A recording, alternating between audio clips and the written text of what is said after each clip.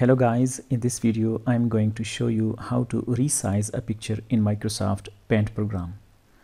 Microsoft Paint program is the default app in Microsoft Windows.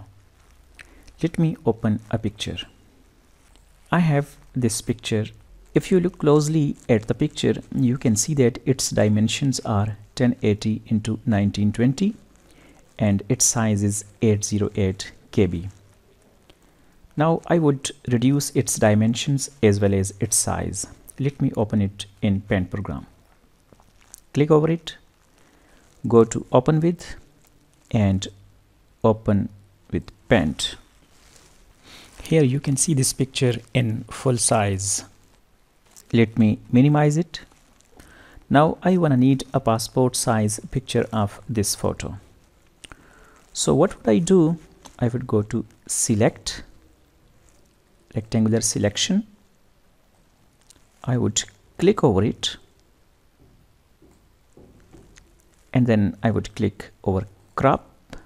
Now this image has been cropped. Now we will go to resize click over it. And we will click over pixels. Now you must untick this maintain aspect ratio because I want my photo to be of a passport size which is 192 into 192 so I would write 192 pixel 192 pixels and I would click over OK.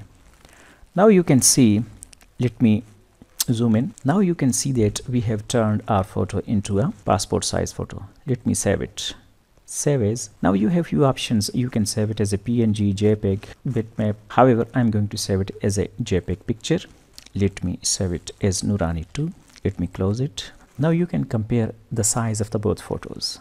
This was the our original photo whose dimensions are 1080 to 1920 and its size is 808 KB. Now if you check this photo, you can see it is 192 into 192 while its size is only 14 KB. This is how you can make a passport size photo.